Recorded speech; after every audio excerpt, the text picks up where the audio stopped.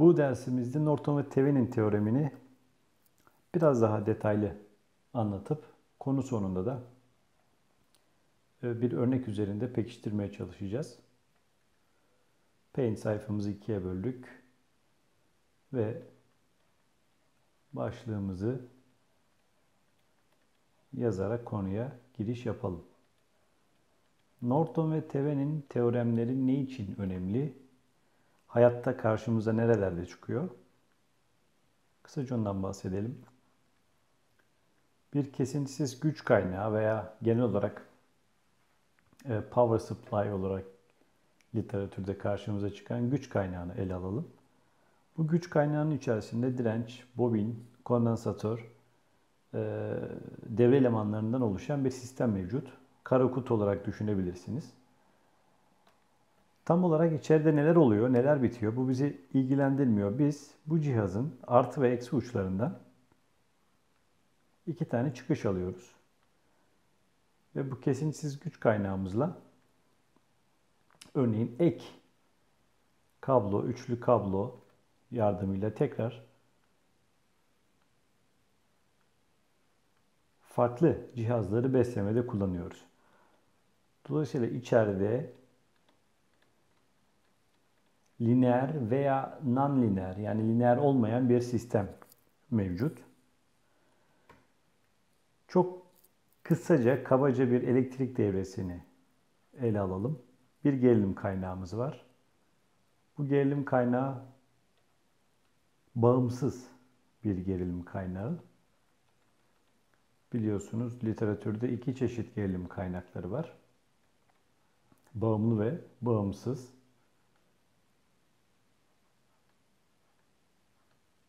Kısaca onların da nasıl ifade edildiklerine bakalım.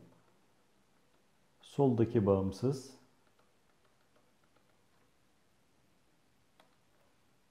sağdaki ise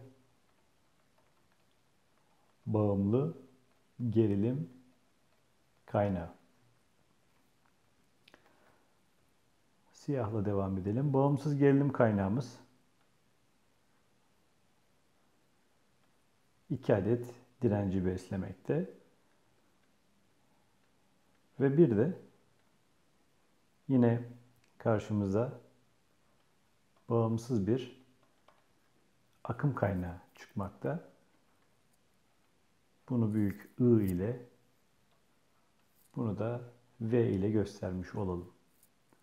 Bu direncimize R1 diyebiliriz. Buradaki paralel direncimize R2 dedik. Ve şurada bir düğüm noktası var. Yani devreden devrenin bağımsız kaynaklarından akan akımlar A noktasında bir şekilde beraber yol almakta. Aynı şekilde buraya bağımsız akım kaynağını ve bağımlı akım kaynaklarımızı da çizmiş olalım. Bağımlı ve bağımsız akım kaynakları veya gerilim kaynakları arasındaki temel fark ki gerçek dünyada aslında bağımsız bir gerilim veya bağımsız bir akım kaynağımız yok. Aslında hepsi bağımlı. Fakat biz burada bu yukarıda görmüş olduğumuz güç kaynağının içerisinde yer alan devre elemanlarını, gerilim ve akım kaynaklarını bağımsız olarak gösteriyoruz.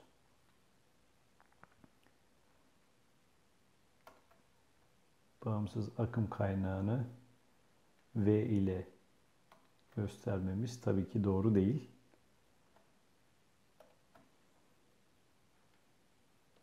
Tekrar bunu düzeltmiş olalım.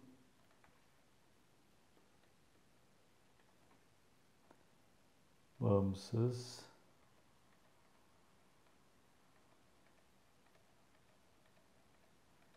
akım kaynağımız. Bu da bağımlı akım kaynağı. Şimdi temelde Kirchhoff akım ve gerilim kanununda gerilim kaynağından çıkan akım tekrar devreyi tamamlayarak şöyle bir döngü içerisinde devam ediyor. Hakeza akım kaynağından çıkan akımımızda saat yönünün tersinde ilerliyor. Ee, gerilim ve akım kaynaklarının güçlerini bilmediğimiz için muhtemelen e, A noktasında akımların yönlerinin hangi yönde olduğunu, içeri mi dışarı mı olduğunu sadece varsayım varsayımla hareket ederek çözüyoruz ve devrenin Kirchhoff akım ve gerilim kaynağı e, gerilim kurallarına göre çözüldükten sonra artı veya eksi işaretine bağlı olarak bu başta varsaydığımız akımın yönlerinin doğru veya yanlış olduğunu saptayabiliyoruz. Dolayısıyla artı veya eksi e, işarete sahip olması aslında mutlak anlamda e, akım ve gerilim kaynağının değerini değiştirmiyor. Fakat artı ve eksi elektrik elektronik mühendisliği içerisinde akımın yönlerini belirlemekte kullanılıyor. Dolayısıyla biz en fazla akımın yönünde bir hata yapmış olabiliriz. Bunu problemin en sonunda, çözüm sonunda görmüş oluyoruz.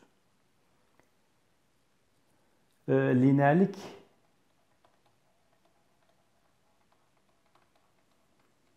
ve homojenlik kavramları da akım ve gerilimin olduğu yerlerde geçerli. Ne demek? Kısaca bunlardan da bahsedelim. Bir kutumuz var. Bu kutu lineer bir sisteme sahip ise varsayımımız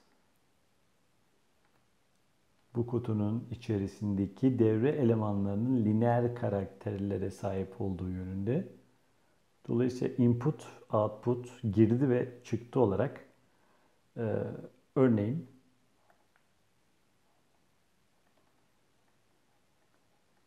x input, y de çıktı yani output'u ifade etmiş olsun. Lineer sistem içerisinde girişi istediğiniz bir katsayıyla çarpmış olmanız aynı zamanda çıkışı da o katsayıyla çarpmış olduğunuz anlamına geliyor. Veya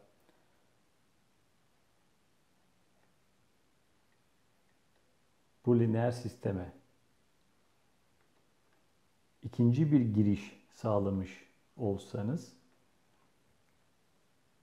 ve bu iki sistemi kendi içerisinde toplayabilmiş olmanız çıktısının da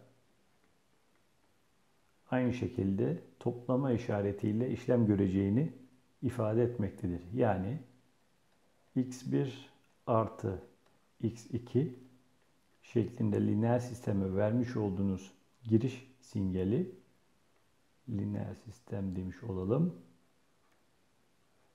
y1 artı y2 ile size çıktı olarak karşınıza geliyor.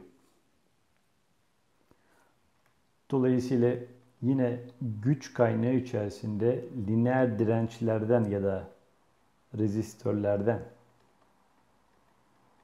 oluşan bir sistemi göz önüne alalım.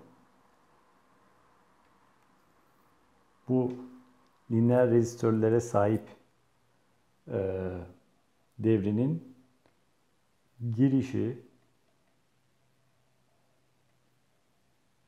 bir adet gerilim kaynağına sahip olmuş olsun. İsterseniz bunu en adet gerilim kaynağı olarak da yorumlayabilirsiniz. Ee, aynı zamanda akım kaynağı da çünkü buradaki örnekte akım ve gerilim kaynağını bir güç kaynağı, elektronik devre içerisinde beraber kullanabiliyoruz. Bunu da IN olarak göstermiş olalım. ya da M diyelim buna. N adet gerilim kaynağı ve M adet akım kaynağını lineer rezistörlere sahip, e, lineer bir sisteme sahip dirençlerde oluşan sisteme verdiğinizde çıktı olarak bizim klasik Kirchhoff gerilim kanunu veya Kirchhoff akım kanunu uygulayarak devrenin karakteristiğini, çıktısını hesaplayabiliyoruz. Biraz daha aşağı inelim. Şuradan çizgimizi çekmiş olalım.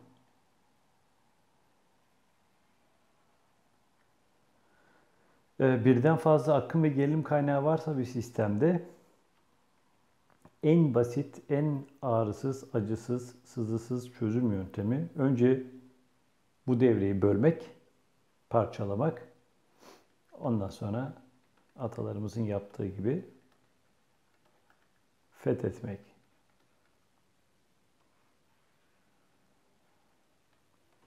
Lineerlik olduğu için bölebiliyoruz ve her bir e, alt sistemi kendi içerisinde çözüp en sonda tekrar bunları toplayıp sonuca varabiliyoruz. Non-lineer yani lineer olmayan bir sistemde ise bunu kullanmamız e, mümkün değil. Dolayısıyla süperpozisyon dediğimiz özellik ile devre içerisinde her bir gerilim kaynağını kendi içerisinde hesaplayabiliyoruz. Yani ne yapıyoruz? Devrede birden fazla kaynak varsa gerilim veya akım önemli değil. Ee, sadece bir adet gerilim kaynağı bir adet gerilim kaynağı varmış ve diğerleri yokmuş gibi veya bir adet akım kaynağı varmış ve diğerleri yokmuş gibi davranarak sistemi çözebiliyoruz. Peki bunları nasıl sıfırlıyoruz? Örneğin bir gerilim kaynağımız var. Şöyle ifade etmiş olalım. Bu gerilim kaynağını öldürmemiz gerekiyor, sıfırlamamız gerekiyor. Bir gerilim kaynağı kısa devre edilerek öldürülüyor. Ee, aynı şekilde bir akım kaynağı da açık devre edilerek sıfırlanıyor. Yani yokmuş gibi davranabiliyoruz. Dolayısıyla bir gerilim kaynağını kısa devre ettiğinizde o gerilim kaynağı artık yok hükmündedir. Kısa devre diye eklemiş olalım. Bir akım kaynağı da sıfırlanarak öldürülüyor ve bu da açık devre olarak ifade ediliyor. Hemen ufacık bir örnek yapalım. Tekrar biraz önceki devreye sadık kalarak tekrar çizelim devremizi. Bu bizim gerilim kaynağımızdı. Akım kaynağımızı da biraz böyle mavi gibi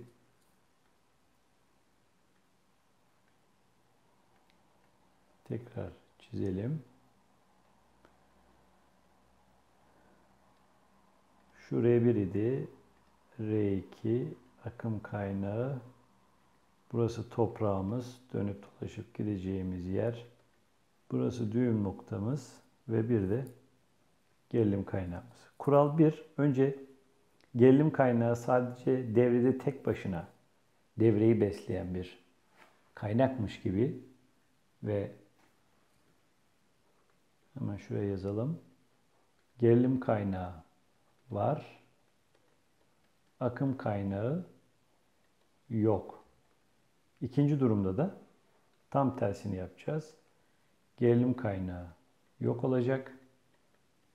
Akım kaynağı tek başına var olacak ve bir de öyle çözeceğiz.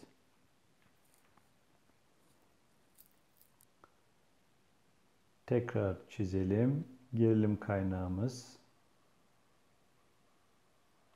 var. Fakat akım kaynağımız nasıl öldürülüyordu? Pardon, çok fazla geri gittik. Akım kaynağımızda açık devre edilerek öldürülüyordu. R1, R2. Şimdi bu şekilde devreden akan akımın yönünü belirlemek gerçekten basit. I akımının yani V gerilim kaynağı bağımsız gerilim kaynağından akan I akımı A noktasına geldi. Fakat burada artık açık devre var. Yani hava var. Hava da elektriği bildiğimiz kadarıyla iletmiyor. En azından belli bir potansiyel gerilim farkına kadar iletmiyor. Dolayısıyla akım yönümüz bu şekilde devam ediyor. Ve A noktasındaki potansiyel yani kaç volt olduğunu bulmamız çok zor değil. Hemen Kirchhoff gerilim kanunu uygulayalım. Eksi V artı I çarpı R1 artı aynı I R2'nin de üzerinden geçiyor. Sıfır olmak zorunda. Buradan A noktasındaki gerilim direkt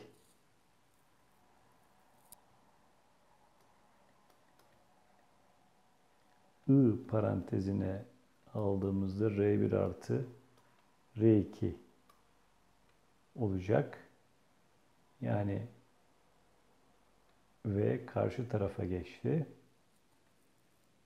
Dolayısıyla burasının 0 volt olduğunu varsayarsak A potansiyel noktasındaki gerilimimiz I çarpı R2 olacak. Veya V eksi I çarpı R1 olacak. Tabi buraya eşitlik yazarsak olmaz. Biz buraya tekrar